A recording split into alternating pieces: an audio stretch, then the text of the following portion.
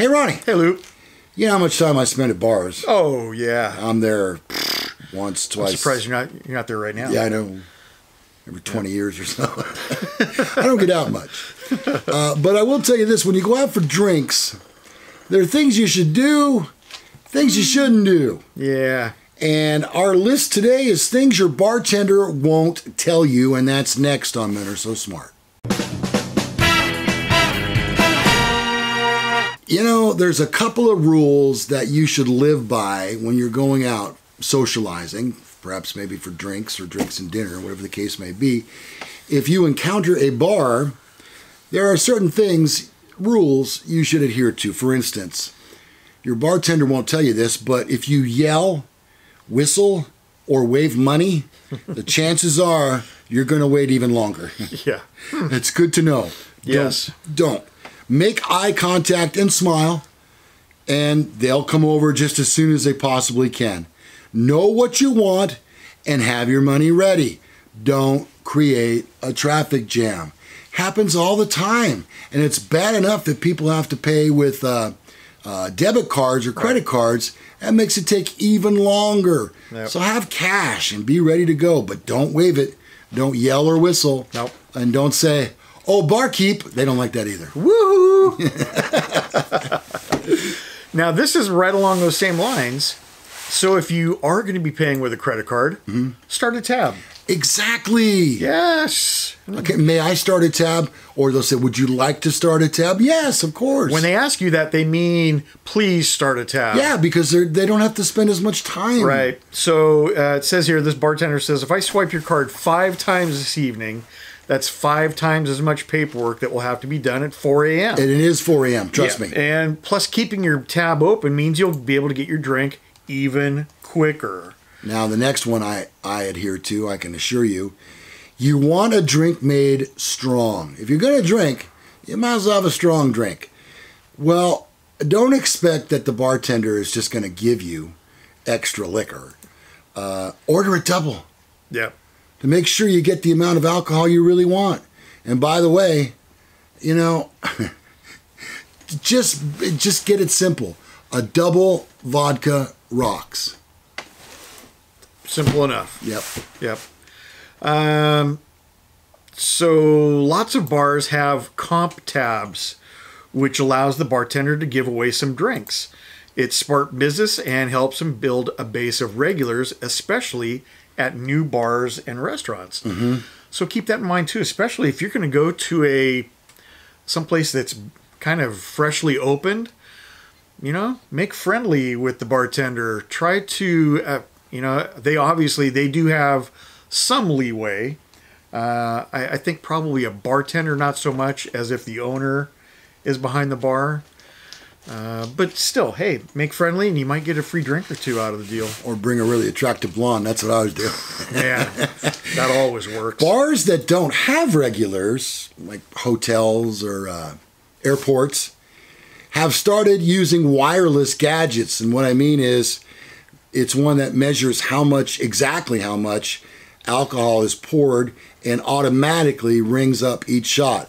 They're meant to prevent over overpouring and to cut losses. So uh, you better get used to that. And, and again, order a double if you think you're going to get a not get a good enough drink. Yep. Well, and then this one gets to tipping. So I know a lot of people, eh, they get a four dollar beer, they tip a buck. That's what I do. Yeah, seems right. So, which is another great reason to open a tab. It's very easy to calculate your your tip once you see how much your tab is. Tip once. Yeah, tip one time, one and done. Uh, if you're tipping a buck, say on a twelve dollar drink, that's probably not enough. So again, opening up a tab will eliminate that, and it'll also be a little bit fairer for the bartender in the amount of tips that they're going to receive. And these guys, they actually they live on their tips. They don't they make no money. My date for dinner orders twelve dollar glasses of wine, Oh, there you go. and my wife gets furious. All right, next up. Um, at some bars, the sliced fruit garnishes sit out until they're gone. The bartender won't tell you that. sometimes even for days. Yeah. Much accordingly, if you're thinking about having a whole bunch of cherries, don't. All right, they don't like when you just sit there and pick cherries out of their uh, garnish bins. Right. Yeah, and it's all that stuff is, oh my god, the thing with the most cooties on it and uh, bar- Germs. yeah, the the peanuts and stuff and everything, all the all the condiments, uh, awful.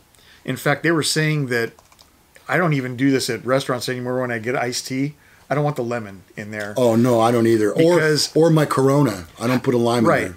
Because how often do they scrub the outside of that before they put it in your drink? Never. Never. Next up on our things, your bartender won't tell you. Yeah. They have police on speed dial and they don't hesitate to call a popo. Uh, so if you're going to cause a problem, be aware that the police are going to be there very quickly. All right, next up on our list, don't order a round of drinks after last call. Last call applies to everyone, even you. Okay, and and you know what else too? As a guy who used to work in a bar nightclub, um, you're counting the minutes till last call. You really are. Uh, next up, uh, some get a cut from the cab company when they call for a taxi for a tipsy patron. I had no idea of that, Ron. Yeah, that's and that makes sense. And you know what? Uh, I think it's fair. Uh, if a lot, if some of these cab companies are going to stay close to the bar, just for the simple fact to you know take drunk drivers home, I think that's uh, that's a good that's a good way to pick up a tip. Yeah. I'm not I'm not against that at all. It's no big deal. Uh, I think it's uh, I think it's a good practice.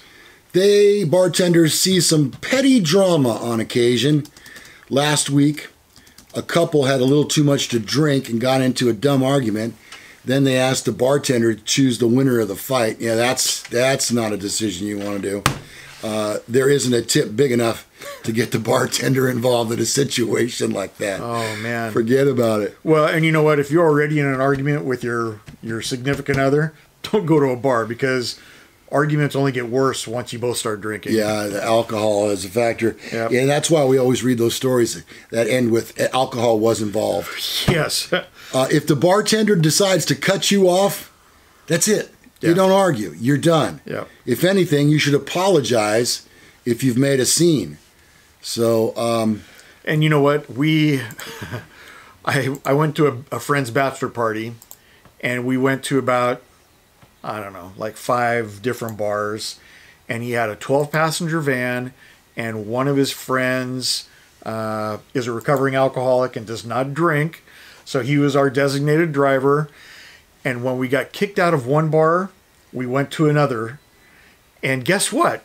They Got wouldn't even out? they wouldn't even let us in. oh, Yeah. So once you get kicked, kick, once you get kicked out of a bar, you should probably just call it a night. call it a night. Yeah, You're done. You're, you're done. All right. Well, there you go. There's our list of things your bartender uh, won't tell you. I really, I, I learned that they get a cut from the taxi ride, huh?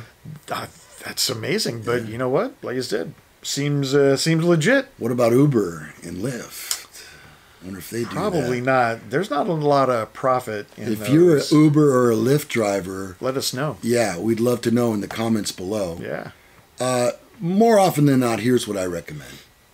When you're going out for an evening and you're planning on staying at one particular location, and your bartender is going to be the same pretty much for their whole shift, not going to change, I recommend a couple of things. Number one, be friendly towards the person. Yep. All right. You know what? Bartending can be known as a career. Some people make a career out of that.